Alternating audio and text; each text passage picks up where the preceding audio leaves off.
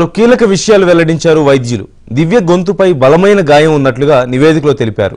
బలమైన గాయం వల్లే తీవ్ర రక్తస్రావమైనట్లుగా చెప్పిన వైద్యులు దివ్య కడుపులో రెండు అంగుళాల మేర కత్తుపోట్లు ఉన్నట్లుగా వివరించారు. చేతిపై కూడా గాయమైనట్లుగా వైద్యులు గుర్తించారు. పోస్టుమార్టం నివేదిక ఆధారంగా దర్యాప్తు చేస్తున్నారు.